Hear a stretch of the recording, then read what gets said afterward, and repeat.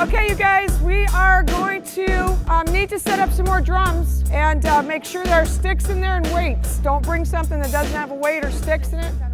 I'm Babette Boling, and I'm the founder and director of Raise the Bar Drumline. We're just kind of warming up with choreography. This is the chorus.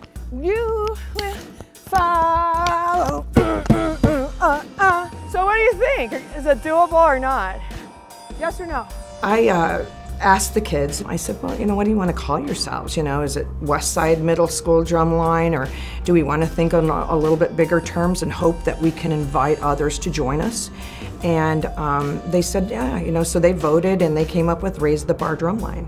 And I like it because I think it just says, you know, let's wake up every day and let's raise the bar. Let's not just survive life, let's thrive. Let's put that bar high and then let's go for it. Raise the Bar Drumline is fitness combined with great brain work, combined with great community social skills. I was looking for something that I thought, you know, how can I get kids to want to move? You know, instead of saying, okay, you've got to do this, you've got to do that, I wanted them to say, you know, whoa, I want to go to drumline. I want to go and exercise. And I thought, oh my goodness, drumming. Kids love to hit stuff. It is the whole package. I've been looking for 30 years to find something like this. You guys remember the days when we just kind of did exercises and we didn't drum and it was just absolutely just all it was. It was just exercise, wasn't it? But now we do fun exercise, right? Oh.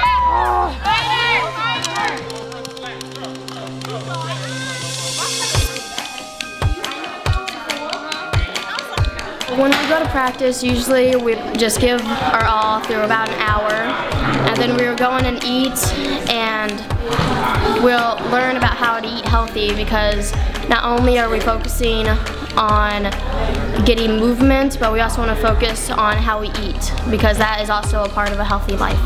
We want to be careful about how what we're putting in our bodies. It doesn't take this major deal. It can be just one little thing that can make a huge difference over time, yeah? Not only do they have the drumming, but they get to come in and, and it's like a revolving door in the front door. It's, it's really never closed. It's um, an opportunity for the kids to come here and, and just be a part of the family. Babette is all heart. How big is Babette heart? It's, it's like this. I like I can't even wrap around it. It's so big. There's a lot of kids that have anger issues from their backgrounds. They have ADD issues. This is an absolutely researched program that shows with the different waves in our brains and how drumming and, and rhythm affects that. It can actually give them a better outlook on life. It can actually create more focus, and it doesn't matter what your background is. It can happen, and that can happen for everyone. Being here, it keeps me out of trouble. She helps me understand what I need to get done and what's the main focus. But like when I was out, it's like I didn't, I didn't really know. Here it's like I'm, I don't know, like I'm home. And each child's story, just like in life or in our church family, everybody kind of affects everybody else. They're suddenly looking beyond themselves. Babette teaches us not only um, to get active and to not like be a couch potato, but she teaches us life lessons and things that can help us when we get older. How do we stay accountable on the outside if we are kind of failing to uphold our code of conduct outside of here? How do we, how do you think we need to stay accountable? I've always appreciated how much she's inspired me to go forth and be able to give what I have that God's given me to express it with other people. There is a need for the village approach to raising kids in our community. There's a lot of kids that are falling through the cracks that we need to make sure um, if we're just paying attention, what can we do? Look at how Granger started you know, and and they planted a church and they just they affected one person, one family at a time. Babette teaches us to be a community in everything we do. Like even when we sit down and do team leadership together, it teaches all of us that we can work together and make a church outside of the church.